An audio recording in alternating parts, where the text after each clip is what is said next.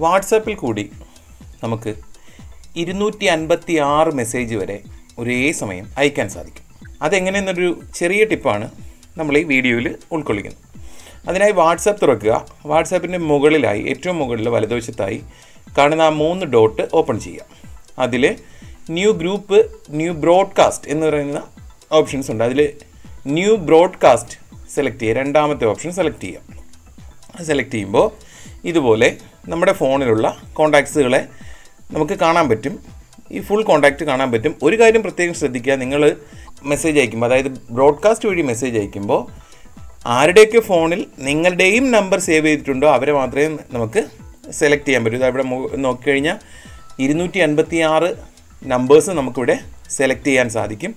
ഞാനിപ്പോൾ ഇവിടെ സെലക്ട് ചെയ്ത് കുറച്ച് നമ്പേഴ്സ് സെലക്ട് ചെയ്യുന്നു.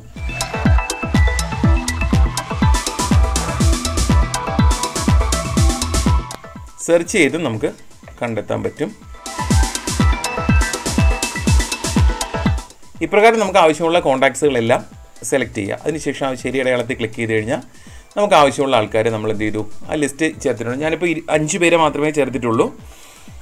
അതിനുശേഷം ആ മുകളിലുള്ള ഗ്രൂപ്പിന്റെയൊക്കെ ചെയ്യുന്ന പോലെ ആ മുകളിലുള്ള ഫൈവ് റെസിപ്പിയൻസ് എന്ന ഓപ്ഷൻ സെലക്ട് ചെയ്തിട്ട് നമുക്ക് വേണമെങ്കിൽ നമുക്ക് പെർമനന്റ് ആയിട്ട് ഇത് പിന്നീട് ഉപയോഗിക്കണമെന്നുണ്ടെങ്കിൽ നമുക്കിവിടെ ഇതിനൊരു പേര് കൊടുത്തേക്കാം. ഞാനിപ്പോൾ ഫ്രണ്ട്സ് എന്നുള്ള പേര് കൊടുക്കുന്നു. ഓക്കെ കൊടുത്തു കഴിഞ്ഞാൽ ആ ബ്രോഡ്കാസ്റ്റ് ലിസ്റ്റ് ഫ്രണ്ട്സ് എന്നുള്ള പേരിൽ ആയിക്കഴിഞ്ഞു. ഇനി നമുക്ക് എന്ത് ചെയ്യാം? മെസ്സേജ് അയക്കാം. ഇവിടെ ഞാൻ ഹായ് എന്ന് അയക്കുന്നു. ഹായ് എന്ന് മെസ്സേജ് അയച്ചു കഴിഞ്ഞാൽ ആ മെസ്സേജ് ഈ പറഞ്ഞ ആൾക്കാർക്കെല്ലാം ഇൻഡിവിജ്വൽ ആയിട്ടായിരിക്കും പോയിട്ടുണ്ടാവുക. ബ്രോഡ്കാസ്റ്റിൽ അയച്ചുവെങ്കിലും നമുക്കിവിടെ ബ്രോഡ്കാസ്റ്റിൽ കാണുന്നുവെങ്കിലും അവിടെ നിന്ന് ഓരോരുത്തർക്കും ഓരോരുത്തർക്കും ഓരോ മെസ്സേജ് ഇതാ ഇപ്പോൾ ആ സാറ് റിപ്ലൈ ചെയ്തിട്ടുണ്ട്. ഹായ് അപ്പോൾ ഇത് ഗ്രൂപ്പ് മെസ്സേജ് അല്ല.